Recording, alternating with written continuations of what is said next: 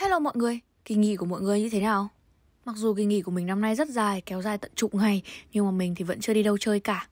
Nay cho em Moon lên top top nha. À, Em Moon thì mới hạ sinh được bốn đứa Nhưng mà hai đứa bị mất rồi, còn hai đứa thôi.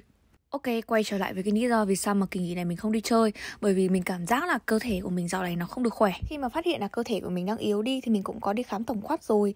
À, Cơ bản thì không bị sao cả Nhưng mà mình thì bị thiếu máu rồi Một vài cái chỉ số trong cơ thể nó không được ok cho lắm. Lý do thì mình nghĩ là do hậu Covid, mình ăn uống không điều độ và làm việc khá là nhiều, thế nên là mới vậy đó. Và một phần nữa mình nhận ra nha, à, cái chế độ ăn uống nó rất là quan trọng luôn ấy, quan trọng cực kỳ. Khoảng nửa năm gần đây thì mình có thay đổi cái chế độ ăn uống. Bạn nào mà thường xuyên theo dõi mình thì biết là dạo gần đây mình làm rất là ít clip đồ ăn. Còn trước đó thì ngày ba bữa đủ ba bữa luôn á.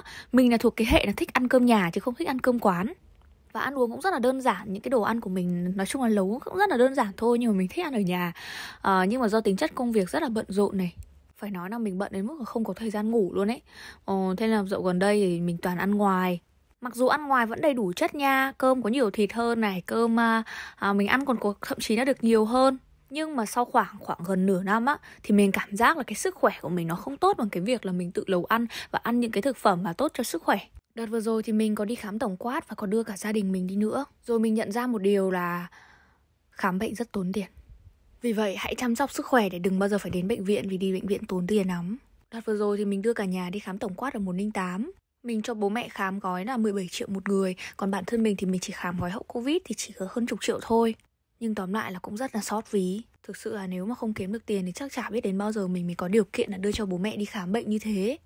Chính vì vậy nên là sau lần này mình càng có động lực hơn để kiếm tiền uh, Để cho bố mẹ hưởng thụ là một phần Và một phần để bảo vệ sức khỏe của bố mẹ nữa. Lúc khỏe mạnh cũng như lúc ốm đau uh, Ốm đau mà không có tiền thì rất là khổ, khổ cực kỳ luôn. Nhưng mà cũng đừng à, dành hết sức khỏe để kiếm tiền rồi sau này lại dùng tiền để mua một chiếc giường bệnh nhá. Phải chăm sóc sức khỏe chế độ ăn uống là cái điều đơn giản nhất và quan trọng nhất. Mọi người không cần phải sử dụng quá là nhiều thực phẩm chức năng hay là những cái ờ, yếu tố gì đấy nó cao siêu đâu. Cứ chú ý sức khỏe đi. Nhưng mà xin lỗi nhá hôm nay mình ăn mấy cái cái này mình biết là không tốt cho sức khỏe nhưng lâu lắm rồi không ăn. Ăn một hai cái đấy chắc không sao đâu. Cái cay cay này của Trung Quốc ấy bà nào ăn uh, thích ăn cái này thì mua thử cái này đi ăn ngon lắm. Nhưng mà không tốt cho sức khỏe đâu nhá ăn ít thôi. Đợt vừa rồi đi khám tổng quát thì mình với mẹ thì không sao nhưng mà bố mình thì bị men gan cao. Bác sĩ không cho uống rượu nữa và dùng rất là nhiều thế nực thì bố mình bây giờ cũng đã không uống rượu nhiều nữa rồi. Vì vậy mọi người lên cho bố mẹ đi khám định kỳ nha. Bởi vì nếu không đi khám định kỳ thì không biết là hiện tại mình có bị bệnh gì hay là đang gặp cái vấn đề gì hay không. Hãy bảo vệ sức khỏe của mình nha. Chúc mọi người thật nhiều niềm vui và thật nhiều sức khỏe. Bye bye.